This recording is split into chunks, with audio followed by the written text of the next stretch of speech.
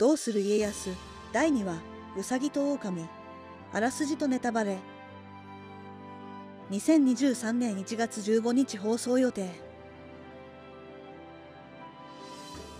石川数正は松平元康に詰め寄っています。殿二つに一つです。ここで織田と戦うかここを捨てて逃げるか。しかし横で家臣たちはもう内向でもないというので元康の気持ちはまとまらずにいました。無論戦うべきじゃ。今残っているのは三河の兵だけじゃ。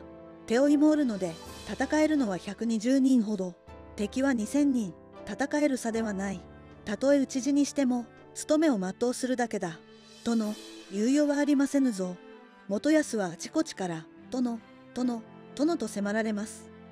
わしは決めようとしているのにお前らがぐちゃぐちゃ申すから。もう手遅れにございます。黒い一団が大高城に向かってやってきているのが見えたのです。逃げればよかった。元康が織田信長に怯えるのは幼い頃の人質暮らしが理由でした。元康の父松平広忠は宿敵織田信秀の信仰に悩まされていました。幸福を余儀なくされて6歳の竹千代を信頼できる味方のところに預けていると竹千代の家臣は皆殺しにされました。味方と思っていた戸田宗光は織田方になっていたのです。そして竹千代は一人尾張の対馬に連れて行かれたのです。そこで会ったのが織田信長でした。可愛いのコウサギのようじゃ食べてしまおうか。そう言って高笑いする信長に元康は恐怖を覚えました。その後織田信秀は松平広忠を今川と手を切るように要求しました。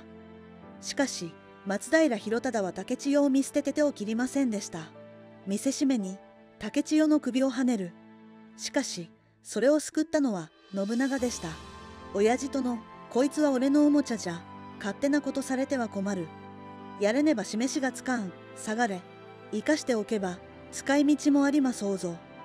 結局信秀は折れて竹千代は首をはねられずに済みました。しかしそれから竹千代はずっと信長と過ごすようになります。竹千代にとって地獄のような日々だったのです。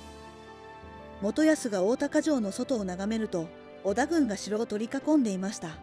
しかし織田軍はなぜか攻めてきませんでした。織田信長の何が怖い？お前にはわからぬ。すると織田軍はなぜか何もすることなく引き上げていきました。見逃してくれたのか。敵も激戦の後じゃ。余力がもうなかったんじゃなかろうか。そして元康はぽつりとこぼします。駿府に帰りたい。今川が負けた以上ここにいても仕方ない。城を出て駿府を目指す。その日に今川の城代の山田が家臣を全部引き連れて岡崎城を出たとの報告が上がります。岡崎城に誰もいないということは今攻められると岡崎城に入りましょう。いかん。駿府の許しなく入れん。城代はいない。今なら入れます。駿府に戻って氏真様の指示を仰がなければわしらの本領は岡崎です。妻や子が皆岡崎におる放っておけようか。元康と忠義の対立は深まっていました。駿府駿府駿府そんなに駿府がお好きか。ああ好きじゃ。岡崎よりずっと好きじゃ。わしの妻と子は駿府におるのじゃ。なんとわがままな。わがままはお前たちだろう。なぜ言うことを聞かん。わかった。三河寮に入ったらお前らにいとまを出す。おのおの好きなところに行けばよい。わしは一人でも駿府に帰る。それで文句なかろう。そして三河方面に行く途中で闇の中に無数の松明が近づいてきました。お尋ね申す。松平元康殿の岡崎勢であらせられるか。松平正久が声を張り上げていました。松平は我らの味方のはず。そう言って近づこうとする鳥居元忠を石川数正が止めました松平正久にございますお迎えに馳せ参じました元康様はご無事でございますか？手勢の兵でお送りつかますります。殿、信じられますでしょうか？松平正久は何度も我らを裏切っております。ありゃ、信用ならん。松平正久は何度も呼びかけます。岡崎城代の山田様は駿府に帰られました。今こそ松平一族が一つとなり三河を守るべき時です。元康は考えていましたが信じることにします。信じよう。あの者を信じてはなりませぬ。黙れ、今は、あやつの言う通り、松平一族で揉めておる時ではない。わしは出ていくぞ。そう言って元康が出ていくと、銃声が轟きます。不正。そう言って、本田忠勝が元康に覆いかぶさって、避けます。元康は銃撃を免れましたが、鳥居忠義らは銃弾を受け倒れていました。松平正久の騙し討ちにあったのです。元康たちは命からがら大十字に逃げ込みました。負傷者はどんどんお堂に運び込みます。鳥居忠義は意識が朦朧としていました。じいさまは助からないかもしれないな。わしのせいじゃ、わしが判断を誤った。今はそれどころではありませぬ。元康と石川数正、酒井忠次がお堂の外に出ると、松平正久の兵があちらこちらにいました。しかし、東吉上人は松平正久に言いました。ここは、ご仏のあるところじゃ、何人たりとも中に入れることはできん。お引き取りあれ。元康の首を差し出せば引いてやる。わしの首を狙ってるんだな。おだえて土産を持っていこうと考えているのです。その後、元康は、東吉上人に場所を教えてもらい父、広忠の墓に一人で向かいました。自分の腹を切って家臣たちを守ろうと考えたのです。元康は瀬名を思い浮かべました。すまん、わしは帰れぬ。そこに本田忠勝がやってきました。来るな。止めようというのではない。確かに、その首をくれてやれば家臣たちは助かるだろう。俺でよければ解釈してやる。わしは無能な大将だ。多くの兵を死なせた。これぐらいしかできぬ。そうだな。平八郎、解釈頼んだ。